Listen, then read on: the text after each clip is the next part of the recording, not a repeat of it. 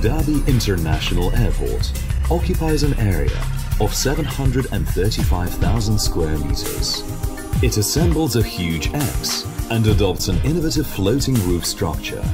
The central processor roof is a large span, complex, space steel structure composed of 18 spatial double curved arches, 9 curved girders, 36 backstays, 18 buttresses, and considerable trusses and compression struts. The largest arch spans 180 meters with maximum height of 56 meters. More than 50,000 tons of steel has been used. It will be the largest international airport in the Middle East. Reputable international contractors were employed to deliver this project. The most challenging structural steelworks of the central processor is undertaken by CS CEC. CSCEC is one of the largest construction contracting groups in the world. With over three decades development, it has accumulated rich experiences in building large-scale structural steel projects. Given its massive volume, challenging design and high social influence, at the very beginning of the project, CSCEC has carefully organized and integrated superior resources to tackle this daunting task. Three-dimensional and double-curved architectural design introduces a lot of challenges to structural engineering. Setting out-of-steel members in 3D model is complicated. Workload of connection design is huge, as force profiles are sophisticated and untypical. Design calculation of substantial connections find no reference in current British and American specifications. Given its sophisticated structural design, the original design has been altered over 260 times in the past three years. Repeated changes in calculation, modeling, and detailing result in huge pressure on raw material procurement, fabrication, and erection. Preliminary statistics indicate that drawing submittals amount to over 40,000 sheets and calculation reports over 300,000 sets.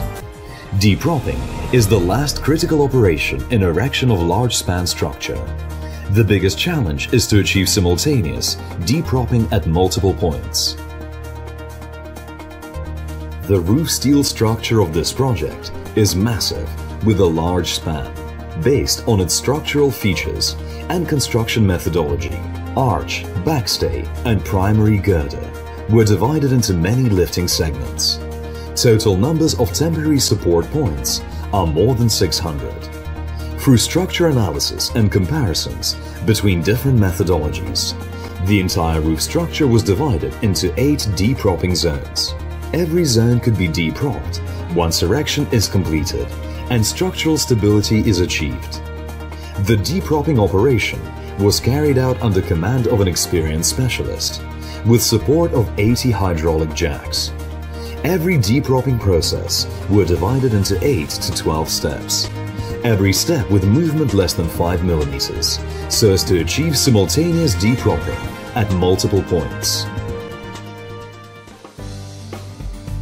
Almost all special materials available in the structural steel industry have been used in this project, such as cast steel components, high precision pins, tension and compression struts, and so on. World-famous brands are nominated on drawing. As the UAE building material market is underdeveloped, most of these special materials have to be procured from a dozen countries, such as China, Germany and the UK. Global procurement is challenging. Raw material resources are limited in the UAE local market. Most of the steel were procured from China, then shipped to the UAE. In order to meet construction schedule, we procured and hired various lifting equipment around the world. We procured four Mega Mobile Tower cranes from Zoomlion China. Maximum lifting capacity is 63 tons. Seven of 600-ton crawlers were hired from Qatar, Saudi Arabia and Belgium to accelerate the project progress. This machinery was transported by ship, then by 30 to 40 heavy-duty trailers to the project site for assembling and setting up. In order to achieve the acceleration program, since March 2015, a large number of laborers were recruited urgently from China, India, Pakistan, Thailand and Vietnam. Manpower increased from 500 in March to 2,300 in September. Average daytime temperature is about 40 degrees centigrade from May to October. It even reaches 50 degrees centigrade in June, July and August. It's really a challenge to physical limits of human body to carry out construction work in such environments. The quality inspection and testing plan covers more than 72 items, including raw material testing, member dimensional inspection, weld test, critical slip coefficient test, bolt and paint inspection, etc. Substantial AESS members require superior surface appearance. It takes one week to grind one weld to flush, which leads to a long inspection cycle. Quality control procedure requires 100% MPT and UT for all welded joints and over 50% testing on bolted joints. Both exceed that required by British standards. Strict safety inductions were programmed to assure construction safety. All staff, including laborers and management staff, have to attend a two-day, full-time safety induction before being allowed to work on site. All special trade laborers, such as welders, riggers, scaffolders, crane and man lift operators, are required to receive training and obtain occupation certificates from local training providers. Majority of skilled laborers were welders, scaffolders and riggers. It took 28 days for these trade laborers to obtain local certificates. To date, there were more than 5,000 laborers that have attended the safety inductions.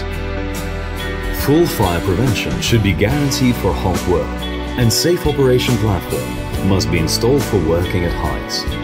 Detailed data analysis should be provided before lifting.